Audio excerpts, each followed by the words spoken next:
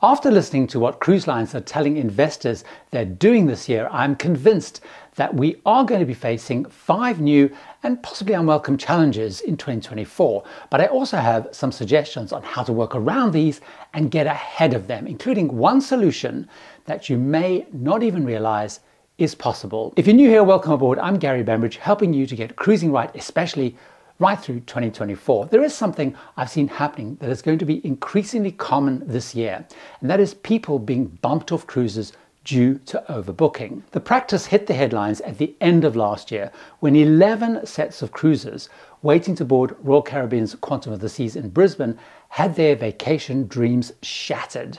The ship was oversold and there weren't any cabins available for them, so they were sent home. Now, on investigating, I found that this is happening way more than I realized, but wasn't making the news like this one was done because cruises were being bumped off from their cruises in the run up to their trips, not once they actually got to the port. So, what is going on and should you be worried? This year, the lines are aiming to have ships sail full and overcapacity. All three major cruising groups, the Carnival Corporation, Royal Caribbean Group, and Norwegian Group, have told their investors that sales in 2024 are way above any previous year, and occupancy of their ships is already running at 109% capacity and increasing. So, for those of you who are not sure what that means, the capacity of a ship is measured based on the number of fixed beds, which on average is basically double occupancy per cabin.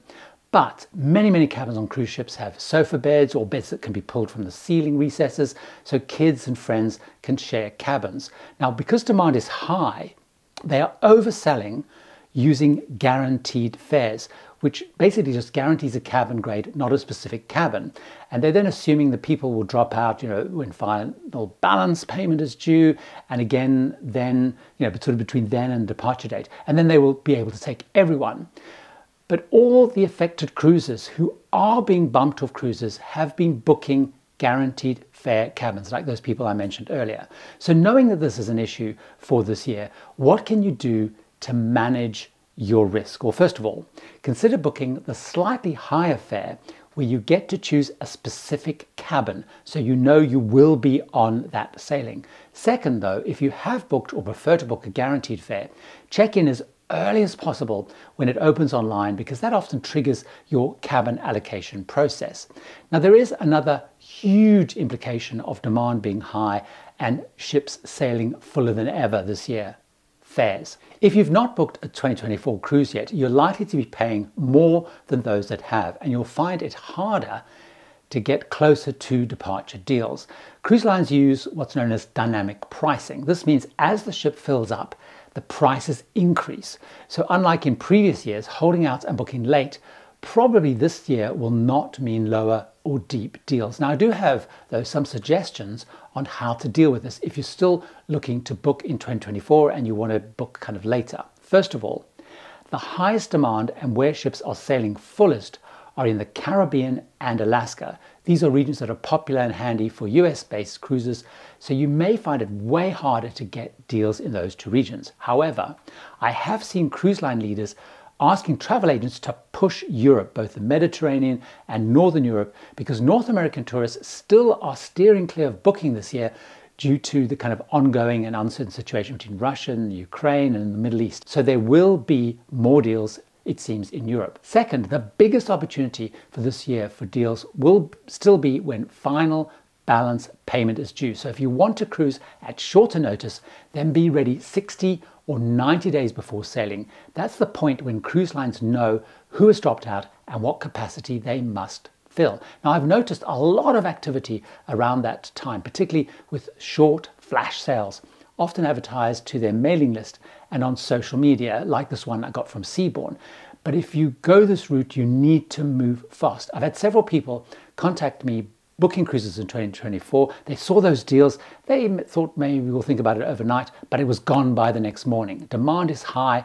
Deals go faster than ever before, it seems. But high demand and ships sailing full and over capacity is not all that the cruise lines are telling investors they are doing. This next one will also hit us harder this year. All lines have said they're working hard to increase the amount of money we spend on board. Norwegian, for example, say they've already got passengers on average to spend up to 15% more versus 2019, and they see scope to grow that even more. What I found fascinating and also telling is they also told investors that the main way they get us to spend more is through packages. They say passengers that buy packages are spending more than people that don't and who pay ad hoc on board. Often in past videos, I've said that whenever the cruise line introduces anything, personally, I assume that it's there to make them more money.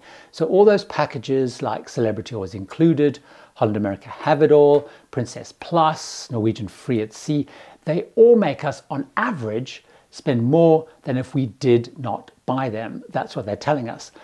But so do the individual packages like drinks packages, dining packages, excursion packages, and so on. So my suggestion in 2024 is when looking at the packages, don't automatically assume you're getting a savings versus what you really actually would spend if you were buying ad hoc. I know that I will tend to spend more if I go with a package and I spend less if I go without a package overall because I just don't go to as, many especially dining restaurants, I don't have as many drinks, I don't use as much Wi-Fi or whatever.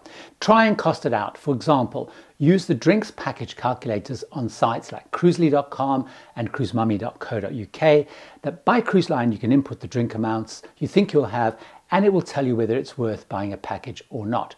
Look at the excursion options and do comparisons of excursion options. I talk about these and how to do that in recent videos on the topic like this one. But remember, the lines are working hard to get us to spend more on board than in past years. So simply be ready for that. But talking about on board, there is a massive change that I don't think most passengers have realized is coming. It is one thing that I have noticed and is affecting the way that I personally choose cruise lines this year and looking further afield. The lines have told investors they are focusing on attracting new to cruise travelers and they're increasing their marketing spend to attract them. And they're looking to cater more for a changing type of cruise passenger. In practice, at the expense of their traditional ones on some lines. For example, a few weeks back, I spotted ads by Holland America pushing and advertising their kids and family fares, a line that used to be seen and was catering for a more traditional older couple cruiser. On my last Holland America trip, over Christmas, there were 400 kids and teens, totally changing the dynamic of the line that I'm used to. My Princess Cruise in Alaska last summer was again full of families versus historic, also couples and older crowd. It was a very different experience. As the year rolls on, you may find a different and evolving vibe and mix from lines you think you know. Many lines have been launching different classes and styles of ships and working to attract different cruise passengers that is different to what they used to do and it will potentially start to affect your cruises this year. For example, Celebrity Edge class ships, so Edge, Apex, Beyond, Ascent, are very different ships very different experience and they're attracting a different passenger to Celebrity. I found it's almost like going on a different cruise line compared to sailing on their Solstice or Millennium class ships, as are the guests on those ships. So as you plan what lines to use this year and beyond, take time to check and reflect. Is the line still as relevant to your needs? Or should you be looking elsewhere to get that experience that you're used to? But there is some good news wrapped up within all of this in the next issue to think about. The cruise lines have still committed to investors to add capacity in 2024, which means nine new ocean cruise ships for you and me to try this year. And the good news is that it looks like the delays and disruptions that we saw over the last couple of years, where most new ship launches had to be pushed back, from what the lines are telling investors, these are expected to happen on schedule. Though looking at the lineup, one disappointing thing struck me is that almost all of these continue the trend by every single line to go bigger and bigger, and most are adding family focused features and activities. So, again, focusing on that very specific audience. In 2024, there is Royal Caribbean's Icon of the Sea with 7,600 passengers, Utopia of the Seas carrying 6,700.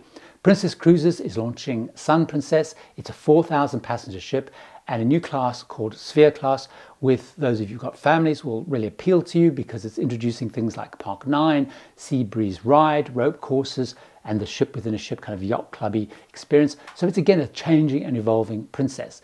Disney Treasure is coming. Uh, that also carries over 4,000 passengers. Silversea is launching the second in their Silver Nova class with Silver Ray. Again, it's more passengers than any of their other ultra luxury ships carrying 728.